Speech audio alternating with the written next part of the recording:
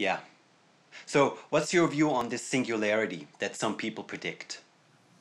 That's not. I mean, the the definition of the singular, singularity of of is sort of relies on this notion that that you know as soon as you get to the point of there being more computation in a computer than there is in a human brain, that all of a sudden everything the brain can do, the computer can do, and I think that's a um, that's a big leap.